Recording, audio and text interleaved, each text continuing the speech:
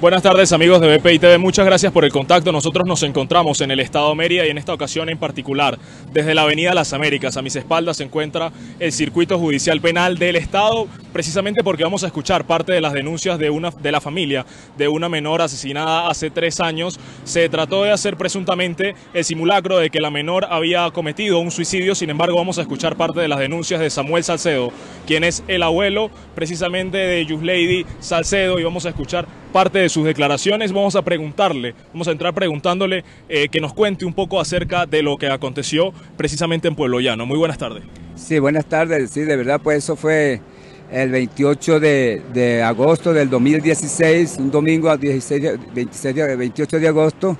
Eh, la niña, la joven salió de mi casa el 27 en la noche eh, no, no regresó más, me estuve llamándola y nunca me atendió el teléfono y fue grande mi sorpresa cuando al otro día del amanecer por ahí a las 7, 7 y cuarto de la mañana llega un funcionario de la policía y me dice que, que fuera a casa del señor Marco Santiago donde allí estaba el cadáver de mi hija Yuslady que supuestamente se había ahorcado.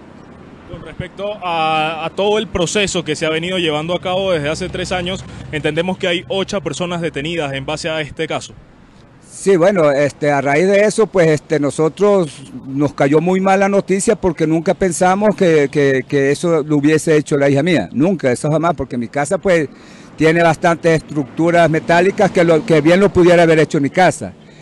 Pero más sin embargo se fue haciendo unas investigaciones por medio del 6CPC y bueno, y después fue arrojando este, de que de, suicidio pasó a ser homicidio. Eh, ya este, el, comisario general del 6CPC, Douglas Rico, lo manifestó el 26 de agosto de, este mes pasado, donde dio unas declaraciones de, de, una rueda de prensa allí y él manifiesta todo. No le quito ni pongo nada de las declaraciones que dio el comisario general. Con respecto a las exigencias que ustedes están haciendo en cómo se ha llevado este caso. Bueno, este, hasta ahorita pues sí, fue un poco engorroso porque de verdad pues este, eh, fue las evidencias nunca, o sea, las experticias que se enviaban para Caracas nunca se, llegaban aquí al Ministerio Público, pero sí, gracias a Dios y le doy gracias al, al 6CPC a nivel nacional, al, comisario Douglas Rico, que se abocó en este caso para que se hicieran las investigaciones. Bueno, y estos fueron los, los resultados que arrojó las experticias. Este caso, este caso se ha hecho viral en los últimos días. Sí, este, tengo bastante entendido que se ha hecho viral porque esta es una cuestión que tiene o ha tenido una connotación a nivel nacional y de verdad pues este, lo que yo exijo de todo corazón es que se haga justicia y que no vaya a quedar este, este acto impune como han quedado en, otras ocasiones. Y de bueno, yo lo que quiero y exijo es que se haga justicia. Le doy las gracias al Ministerio Público, a los tribunales aquí del Estado, al 6CPC a nivel nacional, porque ya de verdad pues están abocando en el caso. Hoy, por cierto, tenemos una audiencia especial allí.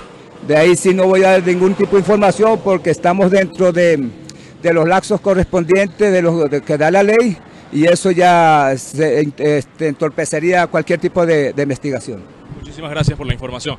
Esta es parte del acontecer acá en, el estado Mérida amigos de BPI TV, también es importante señalar y destacar que parte de los periodistas que han tratado de darle cobertura a este tema también han sido amenazados y por eso se ha vuelto viral este caso, por eso se ha tornado viral, porque parte de los colegas periodistas que han tratado de darle cobertura y que han publicado a través de sus redes sociales toda la información con respecto a este caso han sido amenazados por llamada. Esta es la información que nosotros recolectamos desde el centro de la ciudad de Mérida, reportó José Rojas.